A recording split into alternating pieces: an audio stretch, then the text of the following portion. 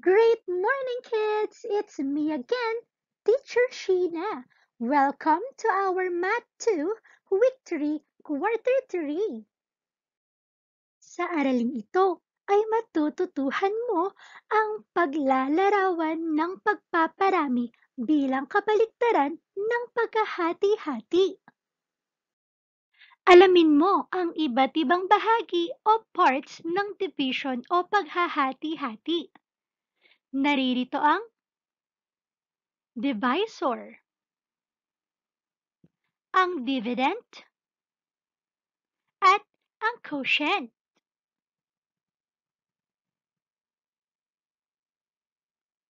Ang dividend ay ang bilang o numero na hahatiin. Ang divisor ay ang bilang na maghahati sa dividend. Ang sagot sa paghahati ay tinatawag na quotient. Tingnan ang mga halimbawa. Pag-aralan kung paano ipinakikita na ang pagdaragdag ay kabaliktaran lamang ng pagpaparami. Inayos ni Jocelyn ang 24 pirasong bulaklak sa apat na vases ng magkakaparehong bilang. Ilang pirasong bulaklak ang laman ng isang vase. Isulat muna natin ang division sentence. 24 divided by 4 equals n. Mula rito, maaari na nating makuha ang sagot sa pamamagitan ng multiplication. Pagmasdan mo sa multiplication sentence, ang divisor ay maaaring gawing multiplier.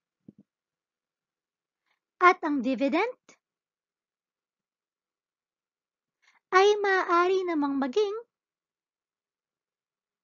product. Sa ganitong paraan, iisipin mo na lamang kung ano ang multiplicand na maaaring i-times sa multiplier na may product na 24. Alam mo na ba ang sagot? Tama! 6 ang multiplicand, kaya ang quotient sa ating suliranin ay 6. Tandaan mo, ang dividend sa isang division sentence ay ang sagot o product naman ng isang multiplication sentence. Ang divisor at ang quotient ng division sentence ay ang multiplicand at multiplier ng isang multiplication sentence. Isulat ang angkop na product upang mabuo ang multiplication sentence. Isulat sapat lang ang dalawang kaugnay na division sentences. Halimbawa nito, 3 times 4 equals 12. Ang dalawang division facts or sentence nito, maaaring 12 divided by 3 equals 4 at 12 divided by 4 equals 3. Ngayon naman, pagkakataon mo nang sumagot. Number 2. 7 times 2 equals n. Tama, ang product nito ay 14. Ano naman ang maaaring division sentence nito? Tumpak. 14 divided by 7 equals 2. Bukod dito, ano pa ang isa?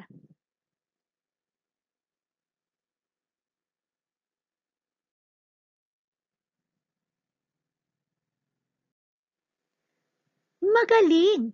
Bukod dito, maaari ring 14 divided by 2 equals 7. Number 3. 8 times 7. Sagot mo?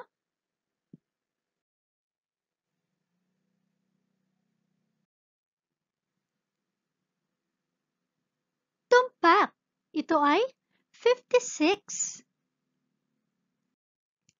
Ano naman ang maaring unang deficient sentence?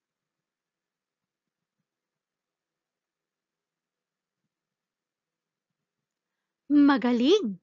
Ito ay 56 divided by 8 equals 7.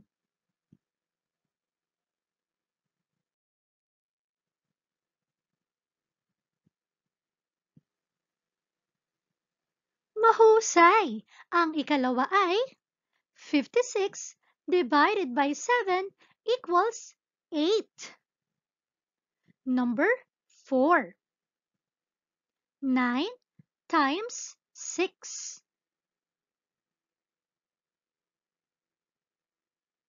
Great job! Ang sagot ay 54.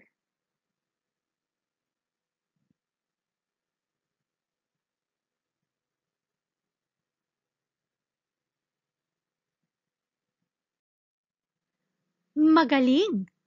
Ang unang posibleng division sentence, 54 divided by 9 equals 6. At ano naman ang huli?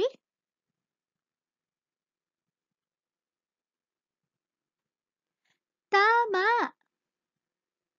54 divided by 6 equals 9. Tara at ating buuin ang multiplication sentence. Ibigay rin ang dalawang division sentences kaugnay nito. Multiplication sentence number 1. 6 times 9 equals blank. Sagot mo?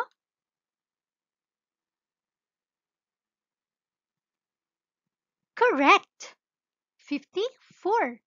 Ang division sentence nito?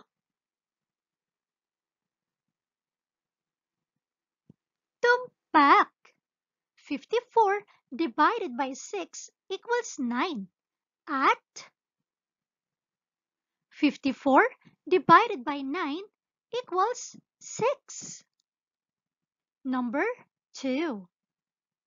7 times blank equals 28.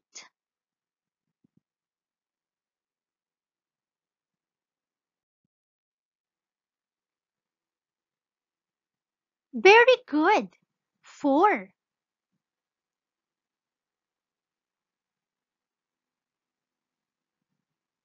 Tumpak kang muli. Ang mga division sentences nito ay 28 divided by 7 equals 4. At 28 divided by 4 equals 7. Number 3. Blank times 4 equals 40.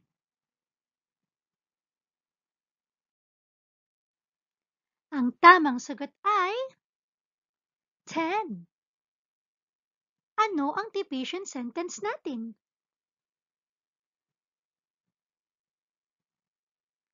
Mahusay! Ito ay 40 divided by 10 equals 4. At 40 divided by 4 equals 10. Punan mo ng tamang sagot ang mga sumusunod na bilang. Gamiting gabay ang mga nasa loob na kahon. Ang mga nasa loob na kahon ay letter A, pagpaparami, B. Inverse C. Subtraction D. Pagdaragdag at E. Division Hayaan mong basahin ko muna ito. Ang pagbabawas o blank ay blank operation ng blank o addition at ang paghahati-hati o blank ay inverse operation ng blank o multiplication. Ngayon, handa ka na bang sagutan? Tara, gawin na natin. Ang pagbabawas o Number 1. Ano ang sagot mo? Tumpak. Ito ay subtraction. Ay blank.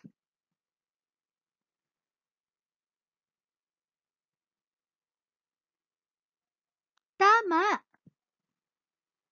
Inverse operation ng blank.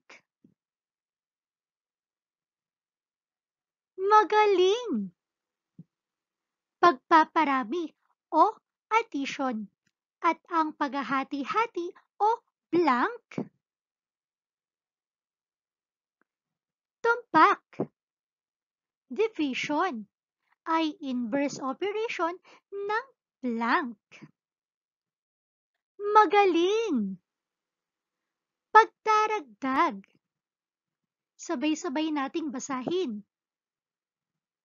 Ang pagbabawas o subtraction ay inverse operation ng pagpaparami o addition at ang paghahati-hati o division ay inverse operation ng pagdaragdag o multiplication. At dito nagtatapos ang ating maikling pagsasama, ngunit puno na naman ng napakaraming bagong kalaman.